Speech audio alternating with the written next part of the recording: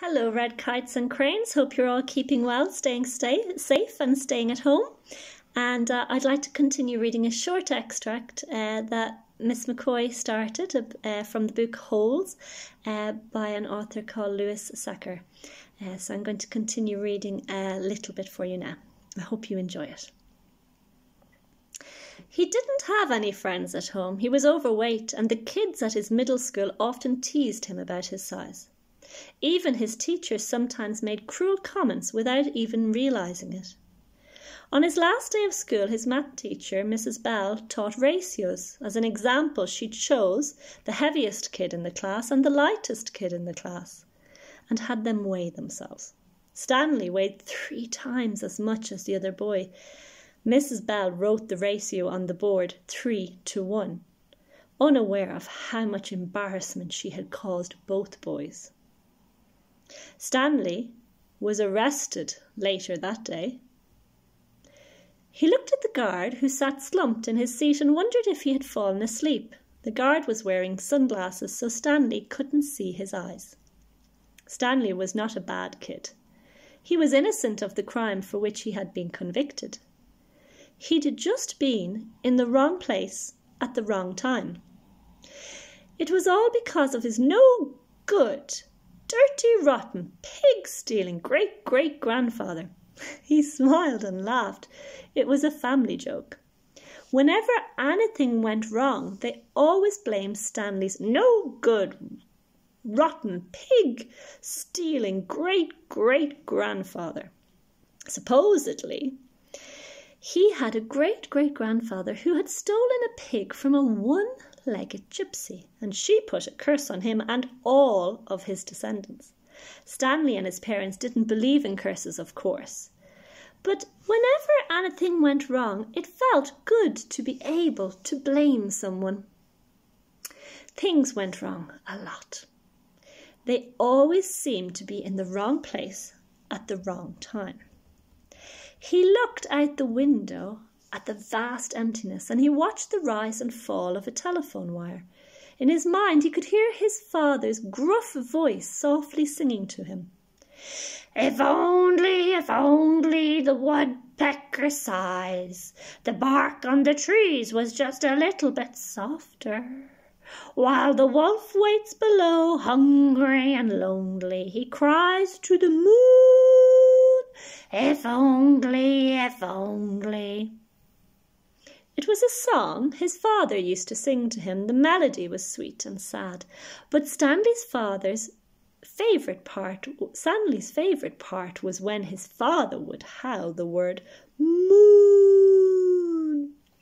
The bus hit a small bump and the guard sat up, instantly alert. Stanley's father was an inventor. To be a successful inventor, you need three things intelligence, patience, and just a little bit of luck.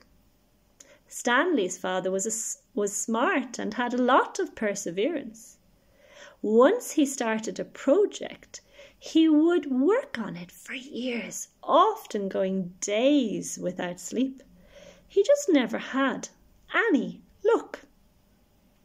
Every time an experiment failed, Stanley could hear him cursing his dirty, rotten, pig stealing great grandfather. Stanley's father was also named Stanley Yelnats. Stanley's father's full name was Stanley Yelnats III. Our Stanley is Stanley Yelnats IV. Everyone in his family had always liked the fact that Stanley Yelnats was spelt the same frontward and backward, so they kept naming their son Stanley. Stanley was an only child, as was every other Stanley Yelnats before him. All of them had something else in common. Despite their awful luck, they always remained hopeful. As Stanley's father liked to say, I learn from failure. But perhaps that was part of the curse as well. If Stanley and his father weren't always hopeful, then it wouldn't hurt so much every time their hopes were crushed. Not every Stanley Yelnats had been a failure. Stanley's mother often pointed this out. Whenever Stanley or his father became so discouraged that they actually started to believe in the curse. The first Stanley Yelnats, Stanley's great grandfather, had made a fortune in the stock market, and he couldn't have been so unlucky if that happened. At such times she neglected, however, to mention the bad luck that befell the first Stanley Yelnats. He lost his entire fortune when he was moving from New York to California. His stagecoach was robbed by the outlaw Kissing Kate Barlow. If it weren't for that, Stanley's family would now be living in a mansion on a beach in California. Instead, they were crammed in a tiny apartment that smelled of burning rubber and foot odour. If only, if only.